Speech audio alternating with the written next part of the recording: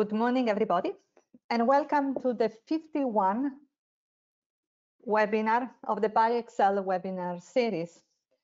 The, the talk of today will be on multi-scale QMMM simulation, in particular exploring chemical reaction using a novel interface between GROMACS and CP2K.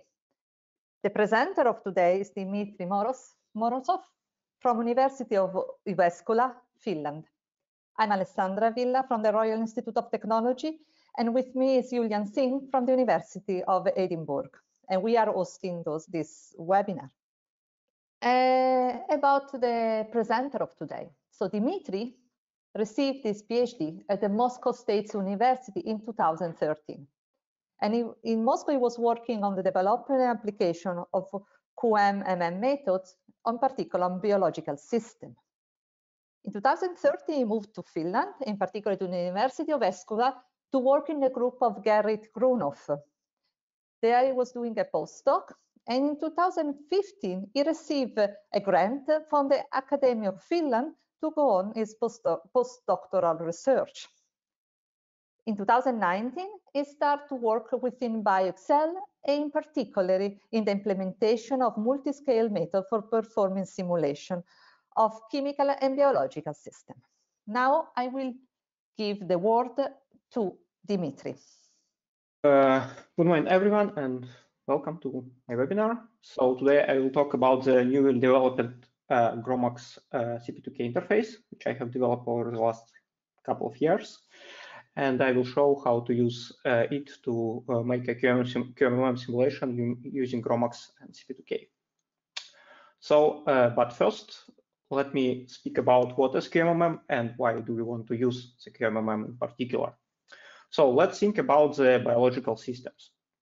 So if you want to model a typical biological system, usually it consists uh, of a large number of atoms, yeah, usually proteins, something else, they're much more, including also the water box around them.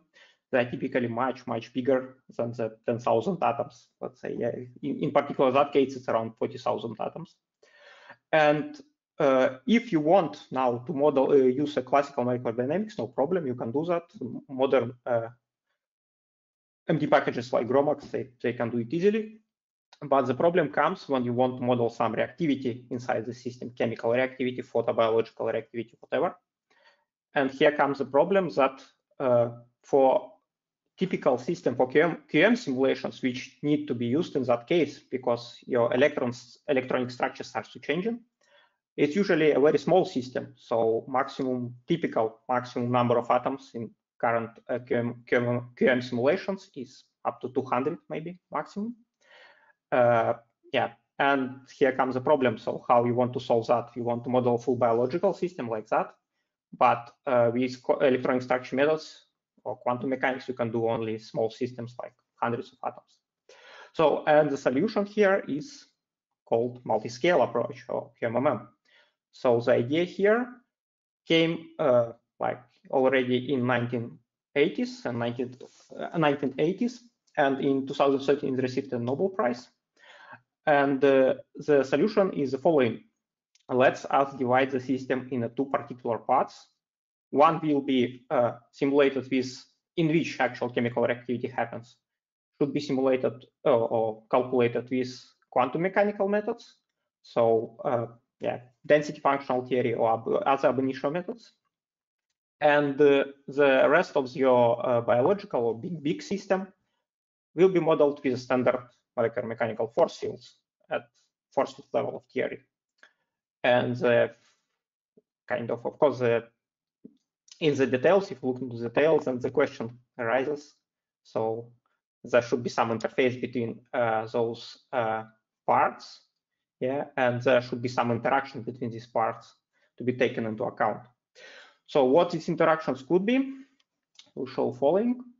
So uh, let us say that uh, interactions within the particular QM region, of course, you always can do with straightforward QM description with wave functions with base sets and so on. Also, interactions purely within the MEM region will be stay the same. They still be on the force field level. But actually, what is uh, most important here is how you want to calculate interaction between QM and the MEM uh, sub subregions, yeah, or between QM and the MEM particles in particular. And uh, the answer is uh, and here you need to solve for two particular uh, things. First one is how you want to couple the uh, calculate or calculate the coupling between uh, quantum region and molecular mechanics region. So there is several class of methods. First called so-called mechanical embedding. In that scheme, it's usually also called subtractive scheme because uh, in that type of schemes, your total QMMM energy is calculated as a full uh, MM energy of full system minus the MM energy of your QM region, uh, uh, calculated basically yeah, on the MM level. And then you add on top of that uh, just contribution from QM uh, calculation. But in that case, your QM will be kind of in a gas phase. So there is uh, the drawback, of course, is that the QM region does not feel any charges or electrostatic field from the MM region. That's why there was introduced the next type of the coupling scheme is so-called electrostatic embedding. And uh, in electrostatic embedding, of course, the uh, polarization uh, uh from the molecular mechanical point charges is taken into account. Polarization of quantum mechanical wave function is from the MM point charges is evaluated. And this is also so-called additive scheme. So because now you calculate just a MM uh, system with kind of empty space inside it. and then you add on top of that QM uh, calculation in the presence of the MM point charges around. There is also a third type, which is now just rising. It's called polarized embedding, but for that you probably need to use uh, polarizable force fields. And this is not so uh, usual for now nowadays. But then in, in, that case, you also take into account uh, polarization of MM part due to the QM part and vice versa. So it's of a fully self-consistent scheme, but it's not so usable uh, as for now, mainly because lack of the force fields. Okay, uh, this is about the electrostatic. Uh, what should happen with electrostatic in QM1, but what about the bonded interactions? For example, in the following case, you also break in the bonds between, there is a broken chemical bonds between QM and MM regions. And of course, this causes some consequences. Yeah. So first of all, you need to deal some somehow deal with the force field parameters on that uh, bond, broken bond. Second, you need to deal with uh, broken bonds itself. So because, for example, for QM uh, subsystem, the broken bonds means a dangling electron, which will uh, which is not so good. And for that, there is several schemes again available in literature. So, and the most usable one is the first one. It's so-called uh, capping or link atoms. So basically, what it means that uh, on the bond connecting on the bond uh, which which is which was broken, we introduce a new uh, quasi-atomic center. Quasi, I mean that it's not present in the real system, but it just present in the QM actually system. Uh, and usually this is a hydrogen atom, which just effectively caps this uh, dangling bond, and uh, and it also fully uh, fully go into the, for example, self-consistent field of your QM region. So it is present in the QM region, but its its influence on the total system then just subtracted. So the force from that atom, it just goes over these two atoms, which it connects. Uh, and there is some other approaches, like instead of the real link atoms, you can use also pseudo potentials to cap that valence, or you can use some hybrid orbitals, frozen orbitals, but the most general method is usually link atoms. And here, let me present what, what, what, what has been done by me and my colleagues over the last years. And there is a, a GROMACS CP2K interface to perform QMM simulations using, of course, GROMACS as the MM driver and CP2K as QM driver. So I, I, will tell you here a bit. Uh, so why we're using GROMACS is, of course, obvious because we are BioExcel. Uh, that why we decided to use CP2K for that is uh, kind of uh, a good question. And the, and the answer is at first, uh, both of them are freely available software. So we want them to be freely available to everyone. And second, uh, CP2K, one of the programs, one of not so many programs, which allows us to perform a fully periodic QM calculations and QM simulations. And what this interface basically is doing, uh, from the GROMACS side, uh, the GROMACS is the main driver. So all integration of the trajectory or minimization or other methods is done in the GROMACS. GROMACS is also responsible for all MM interactions within the system. And CP2K, what, what CP2K is doing, it just uh, uh, first performs QM simulation, and second, it performs electrostatic uh, embedding, so basically coupling between QM and MM. And uh, let me go a bit through these uh, terms in the energy, which we want to uh, uh, which we want to calculate in a typical QMM simulation. So first is the force field. As I said already, it's done in GROMACS, and it is standard for any standard force fields you can use. So yeah, it's it's comprised of the bonded and non-bonded interaction terms. And bonded interaction, of course, is bonds, angles, dihedrals, torsions, so on. And non-bonded is, of course, Lennard-Jones interaction plus a Coulombic interaction uh, between the MM, MM, particles only. The next, uh, what, what, what CP2K is doing. So the QM routine of CP2K is called Quickstep. And what it is doing basically is it's a very interesting thing because it use uh, combined, it not use not just a standard Gaussian basis set like everyone using like 631G uh, or CCP or something like that. No, in, in addition to that basis set, standard basis set, it also uses uh, a reciprocal uh, or kind of plane wave basis set, auxiliary kind of thing, which allows uh, that method to uh, calculate periodic system.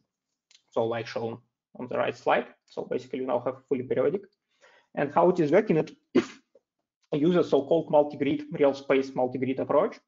So basically it guess, initial guess of the density is taken from the Gaussian basis set. That Gaussian is projected onto the multi-grids, uh, real space multi-grids. And then you construct your Kohn-Sham matrix, Kohn-Sham operator, and energy functional.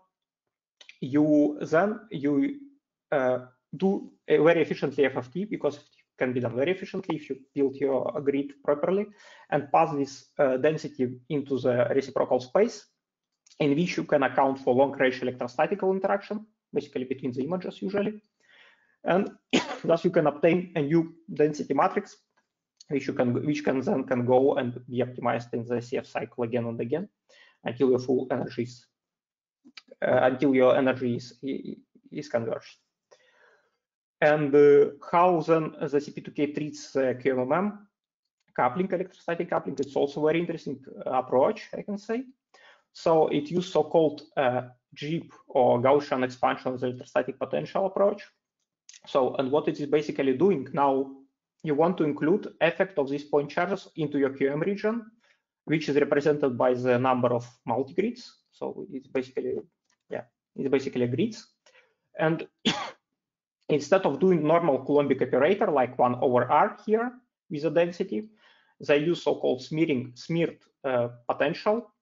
In reality, it is error it is standard error function over r like potential. But what is interesting later, it is expanded as a sum of several Gaussians. The potential is expanded as a Gaussians plus some very smooth uh, uh, very smooth uh, like a, remnant function, which is so smooth that it can be efficiently treated in the reciprocal space. So, and of course, that Gaussians can be mapped directly onto the real space grids. So, in, so it's indeed uh, really like Quickstep is doing, but now we are doing this also by including the effect of the MM point charges of the QM region. And uh,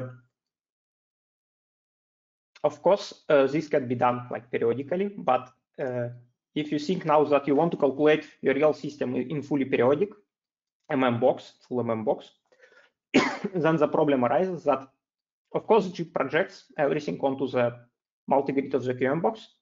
And of course, your now your Quickstep can calculate this kind of system. But unless your QM and the MM boxes are the same, you have a problem with periodicity because uh, that system which you calculated is not the same as it was initially. Yeah, unless your of course boxes are the same, as I said. And to deal with that, uh, we are using also a very tricky approach, so uh, called Blöchl scheme. So what is basically doing? It is fits into uh, once you converge your function, you fit into that density uh, into that uh, density uh, charge density basically your uh, some uh, point charges which can reproduce the multiple multiple moments of your QM system.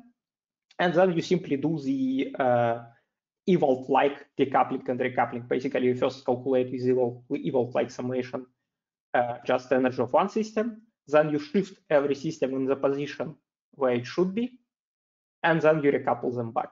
So you basically play this fully classically, like electrostatically, uh, just by shifting this thing.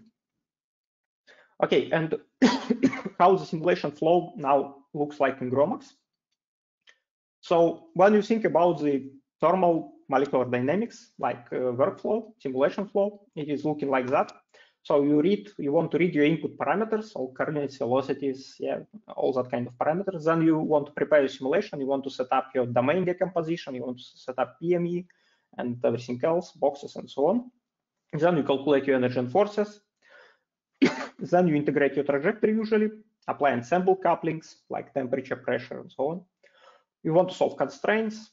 And after the constraints, you just basically write any output if you want. Then you can adjust your parameters, I, and you are doing that cycle until your simulation will finish. And uh, what is interesting in GROMACS that we use uh, so-called MD modules framework uh, to to make this QMMM addition to put additional forces into that additional forces due to QM, QM and QMMM calculation. And this is done like that. So basically, what it is do, uh, there is a number of modules available now in GROMACS even like for example, pulling or density guided simulations.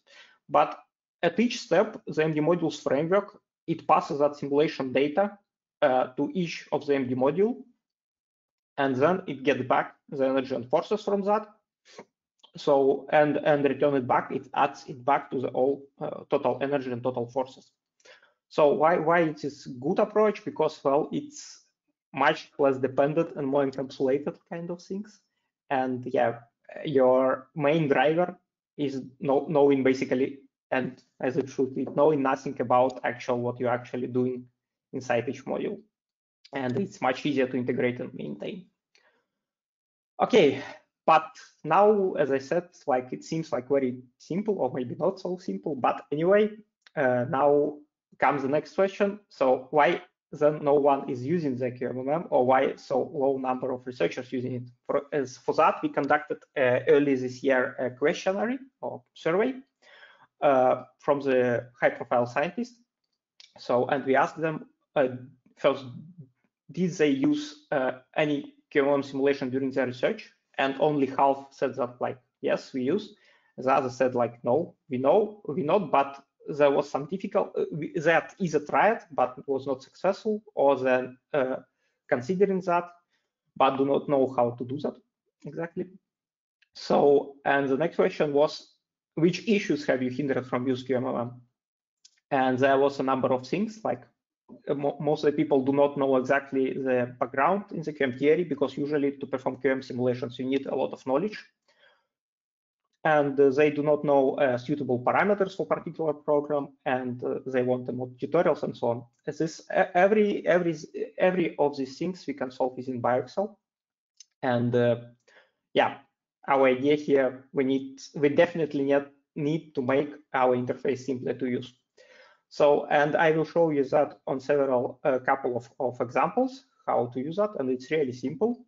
So let's us first go with a typical workflow for the biochemical QMM modeling. Usually it looks like that. So uh, first you take some system, usually from the PDB database, yeah, or whatever. You can take some coordinates from crystal, from crystallography, from cryo structures. You need to fix everything which is missing from your system, residues, protonation states, uh, add boxes, so and so on. And Then you want to perform your probably uh, MD equilibration thing. Uh, so then you put the box into the Grom, solve that box into and just do some dynamics, uh, do production run, search for the good geometries. And uh, then uh, what you want to calculate, for example, you want to calculate some reactivity. And here it is very easy with our new interface. So you just need to add uh, you need to define the group of atoms which will be your QM atoms in the index file of GROMACS. And you need to put a couple of parameters, it's really a small number of them. And then you can perform a QMM calculations. So it can be the geometry minimizations, ab initio molecular dynamics, Born-Oppenheimer dynamics. Uh, you can do umbrella sampling, you can do calculate even absorption spectra. Uh, so yeah, but the thing is that it is very simple in a way, but we still want what we want to achieve. We want to achieve that the advanced users, they also uh, want uh, to modify everything, yeah, usually to adjust parameters, standard parameters, and so on. And we want them to be able to do so. Uh, so how it is working, uh, basically on the first step, of course, when you're going from MD simulations to QMM simulations, you need to change really your topology. And this is already not so simple usually. But in our interface, it is done pretty straightforwardly and uh, automatically.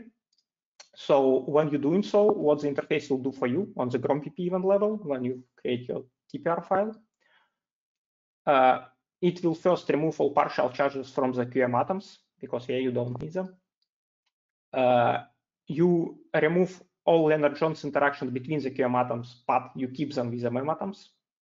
So you remove all bonds within the QM region, bonded interactions. You remove angles, which connects contains two or more. So, for example, this angle, uh, uh, this angle will be cut, uh, will be removed basically.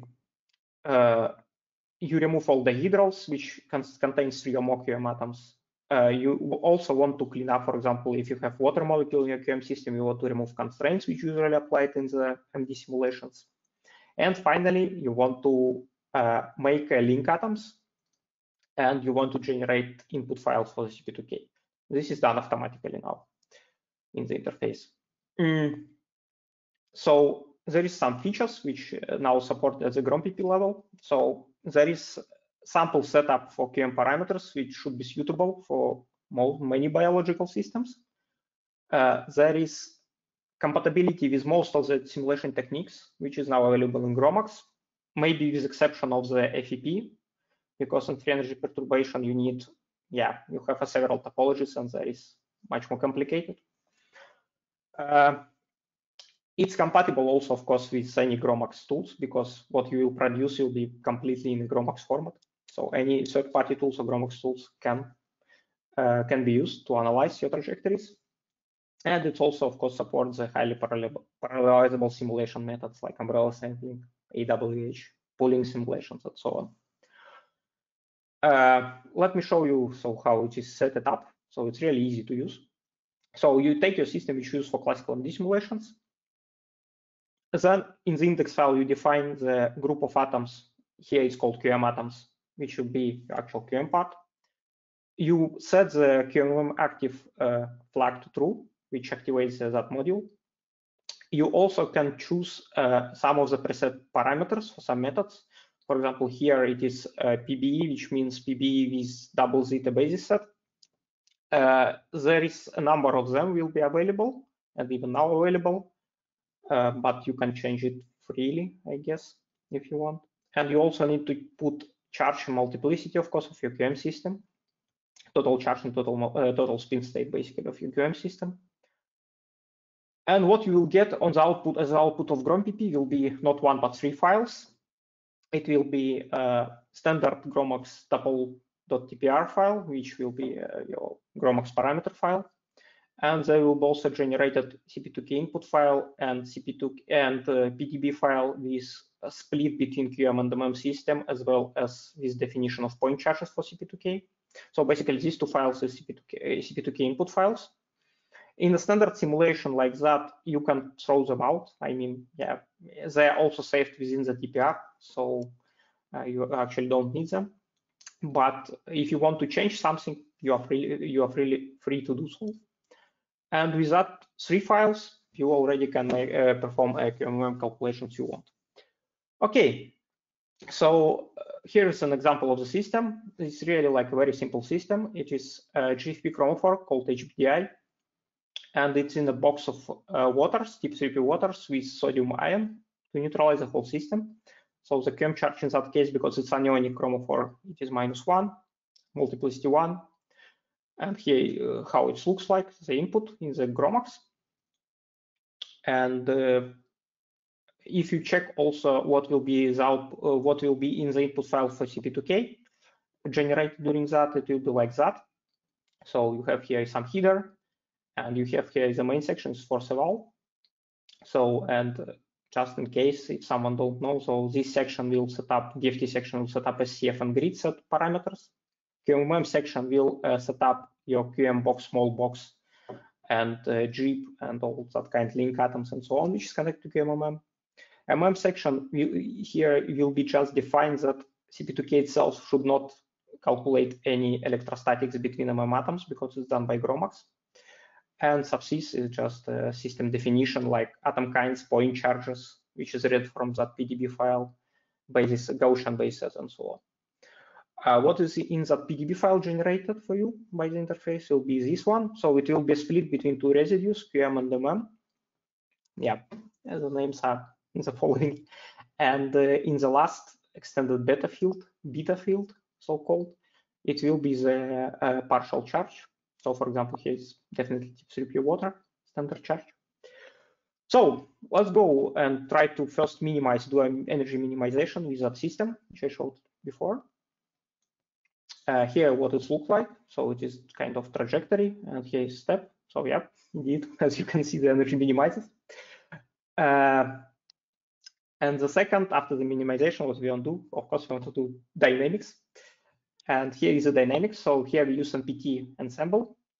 So we uh, uh, we uh, basically want to do it at 300 kilos one bar. So here is the dynamics and the graphs of temperature and pressure. So the both temperature pressure couplings is working here, are working here.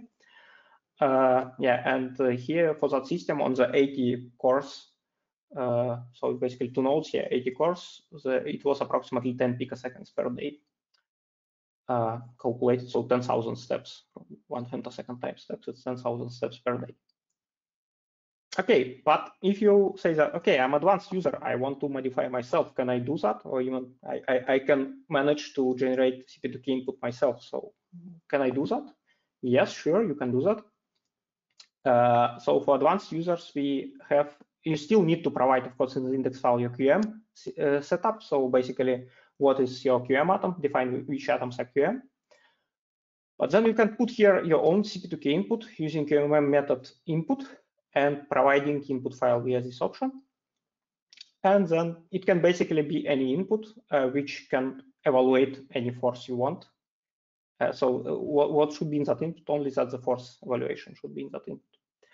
Uh, and uh, uh, yeah, you can perform that simulation, no problem. Uh, and for example, such kind of simulation, there is a bit bigger system. This is so-called phytochrome protein. It's also in the box of water. I just cut it out the box because it really it's really big. And for that system, we wanted to adjust because the system was so really big. We want to adjust some uh, standard CP2K parameters so it can be more effectively uh, treating the, the, the whole box, which is really big. But for that system, we to calculate that uh, that reaction of the chromophore inside that protein. So it's located here. So it is at some point on the photocycle, there is isomerization going from that to that configuration. And we want to, to make the profile of that isomerization on the ground state. Uh, and we use umbrella sampling for that. So basically this is coordinate of the reaction. And here is the profile. Yeah, looks pretty smooth. Uh, as for umbrella sampling, here it's used approximately 30 picoseconds per one umbrella. Uh, and uh, if you think like, okay, uh, I want to, to know how to use uh, CP2K for how to set up advanced CP2K input options, we also made that within the BioExcel. So thanks to Arno and Holly, they are made, oops, sorry, they are made um, best practice guide on performing QMM with a CP2K. So there is a lot of parameters and explanations and combinations and what each parameter is doing, and some troubleshooting even for the uh, biological simulation. So thanks to them.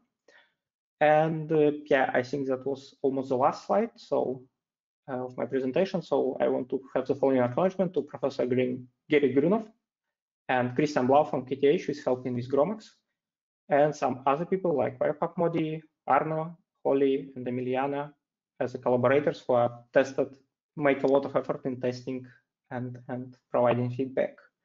So uh, now I finished my presentation and uh, yeah, Q&A session simply starts. Alessandra? Thanks very much for that um, interesting talk. Um, so we've all we have got a large number of questions. So luckily we've got plenty of time to um, go through them. Okay. Um, our first question is from uh, Adrian. Um, Adrian, I have, I do not seem to be able to unmute your microphone, so I will ask the question in your stead.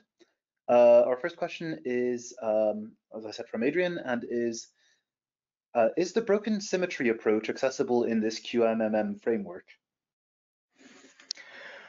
Uh, you mean broken symmetry in the in the QM region?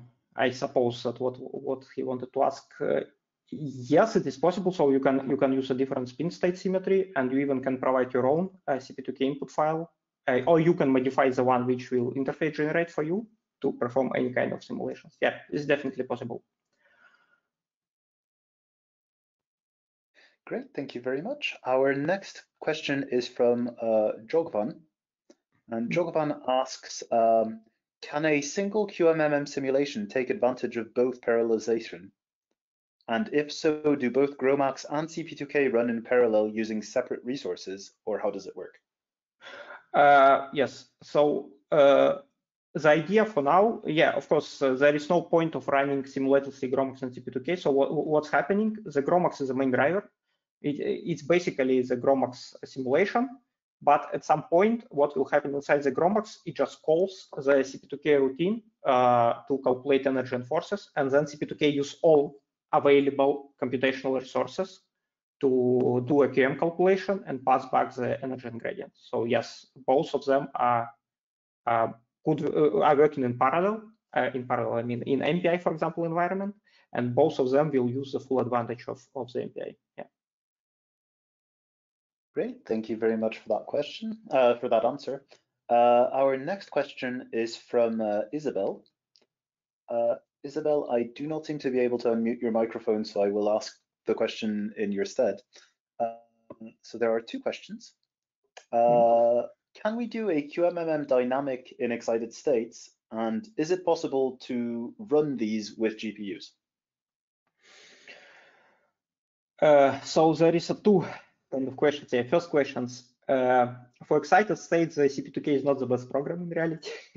so it's done. It's usually uh, doing the.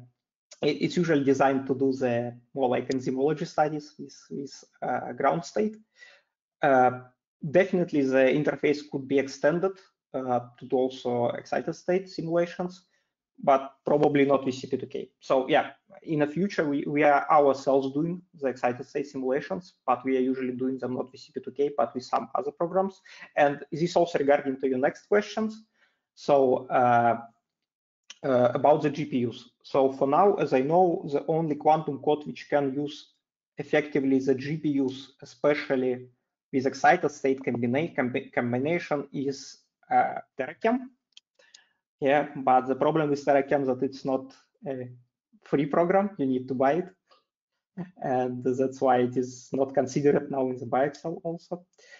Uh, but uh, yeah, definitely for myself, I would very, be very interested in doing so. So at some point, maybe. But for now, the answer to your question is probably no. Sorry. Thank you very much for that answer. Uh, the next question we have is from Chenggong Hui, uh, who, again, I do not seem to be able to unmute anyone today, which I don't know why. Uh, but anyway, regardless, the question is, uh, well, first a comment, 10 picoseconds a day looks very promising. Uh, and the question, how many QM atoms and how many cores? Come again? Uh, yeah, yeah, uh, yeah. Uh, you can, you can, you can. So, how many atoms and how many cores I uh, use? how many atoms and how many cores for the simulations? Yeah. Okay, so for a very simple system like I've showed, like HBI, it was uh, like here, it is really not so big. It is like how many here 20 20 something 25 maybe atoms but the good thing about cp2k it is not very uh, it is very good it is very good scales with the number of atoms so because the number of atoms increase the number of gaussians and cp2k is mainly grid code. So until you not increase the qm box your cp2k scales almost linearly with the number of atoms inside that qm box. Once you start to expand in your box it will slow down. Uh, so there is, should be a very good compromise between the uh, QM, uh, I mean the QM box region, so the, the, how big is your QM box. But uh, uh, 10 picoseconds here, it can be achieved. And how many cores here? I, it was done on the 80 cores. It's two uh, nodes with 40, 40 cores. it was Intel Xeon something. It is quite new, but still Intel Xeon, basically from last year. I don't remember exact, uh, but it's 80 cores. It can scale even further. Yeah, definitely until like four nodes, I need like it can scale. And yeah, I think I've. Great, thank Oops, you sorry. very much. Yeah. Um, our next question is from Andrei Golovin, mm -hmm. who uh, I have been able to unmute. So Andrei, if you would like to ask your question, please go right ahead.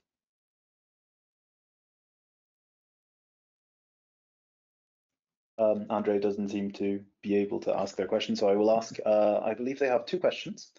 Uh, mm-hmm. the first one is um, to check, uh, do I understand right that CP2K uh, is run by GROMACS at each time step? And yes. their second question is, does, yeah, the easy answer, yes. And the second question is, um, CP2K writes gradients to disk, or does it pass through the memory uh, through memory? everything is done through the memory. So it's another good yes, it's another good thing about CP2K. They have a library-like implementation, so you can, in reality, it will be one executable file. It is basically GROMACS linked against CP2K. So the whole CP2K is linked into the GROMACS, so it is just going directly through the memory of one application. So you even don't have the different applications. It's one executable file, one application. It is going through the memory of that application. Our next question is from Santosh. Uh, okay. Uh, how is a QMMM approach uh, different from a fragment molecular orbit method? From what? Excuse me? FMO, FMO, FMO. Have you heard of FMO? Ah, fragment molecular orbitals. Fragment yeah. molecular, yeah. Uh, yeah. it's completely different. Uh, yeah. Mm -hmm. So the, this is QMMM approach. So FMO is fully quantum approach usually. Uh, so it means that you split your system into fragments, and in each fragment you do a quantum calculation, and then you combine everything into one huge quantum system. It's kind of divide, called divide and conquer methods here. Uh, here it's QMMM. So uh, here you have only one QM, I can say fragment in terms of FMO, and everything else is just a point charges around. So it's really different thing and it's much faster, of okay, course, because of that. Yeah. Okay, thanks. Thank you, Dmitry, again for that answer. And our next question is from Eleni. Uh, Eleni, your microphone is unmuted if you would like to ask your question. Hello, uh, I would uh, like to ask uh, if CP, CP2K uses a subtractive or additive coupling, coupling scheme. Uh, the GEEP, yeah, the answer is the following. The GEEP, which is used by the CP2K, it's additive scheme, but without the polarization for now. Yeah, but it's additive scheme. Thank you.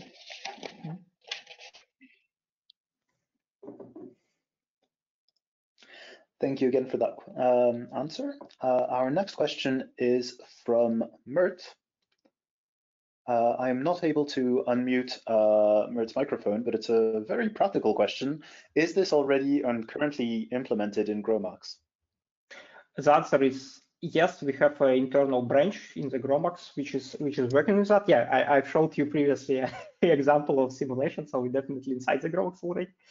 Uh, the thing is that uh, there is some complication with um, uh, with compilation procedure because we want to also keep it as simple as possible for users. But I suppose that within uh, with the release of GROMACS 2021, I will make a separate branch on the GROMACS GitLab which everyone can download and test, where where where there will be a QMMD module uh, activated. So, and everyone who are familiar with compilation procedures, who can compile himself, uh, he could do, uh, he or she could definitely do that. Yeah, the plan is the following for now. Great, thank you very much for that answer. Um, the next question is from Tommaso, who asks, is it possible to use uh, metadynamics on top of GROMACS with CP2K? Metadynamics as a definition, so anything which is implemented in the GROMACS you can use. Uh, as for metadynamics side, well, I, I strongly disagree that someone should use it. It's a very low, uh, slowly convergent method in reality. In GROMACS, there is much better method called, called AWH, which is kind of a pretty much very accelerated kind of that approach, bias, bias force approach. And I suggest to, to use that. But yes, this is possible. Uh, I mean, any any biased simulation except of FEP, uh, it is possible to do with that interface. Yeah. Great, thank you for that. Uh, the next question is from Suman. Uh, Suman, I do not seem to be able to unmute your microphone, so I will ask in your stead. Um, is it required to generate the MM parameters for the QM region as well? And if yes, is there a recommended procedure for doing this? So uh, the, the answer is the following.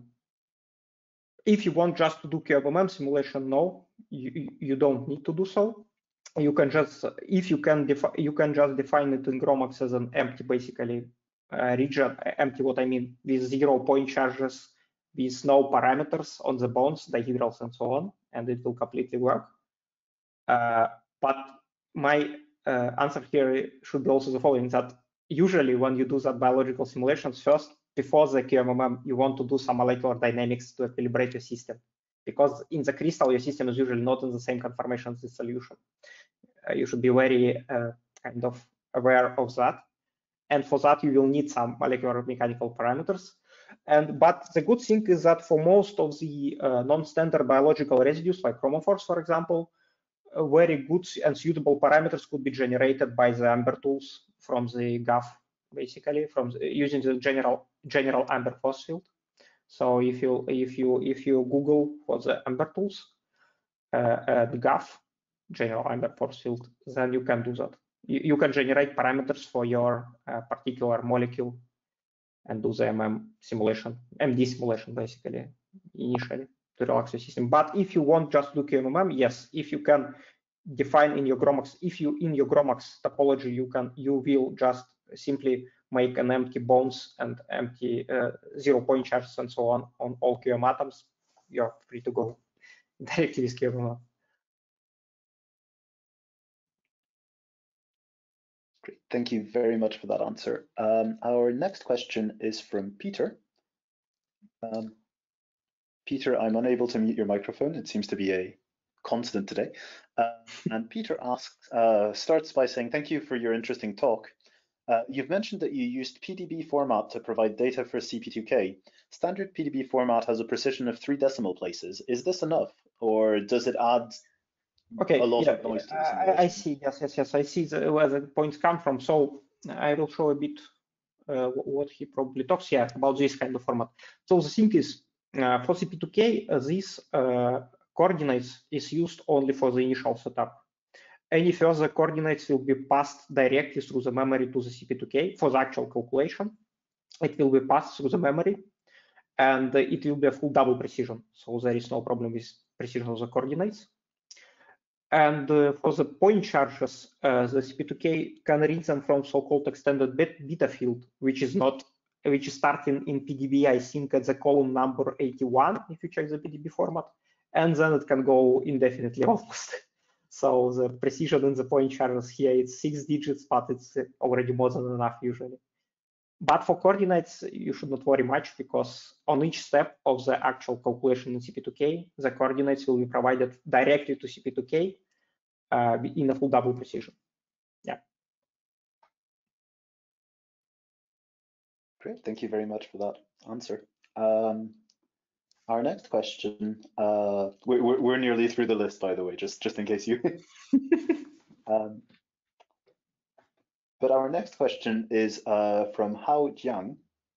Mm -hmm. uh, and the question is, can CP2K find transition states? Uh, CP2K itself can find transition states, the question, if you want to you do that, yeah. Uh, CP2K by itself can do that.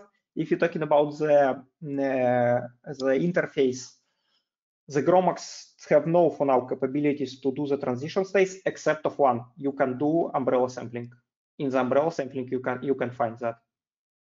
Uh, so you can do umbrella sampling.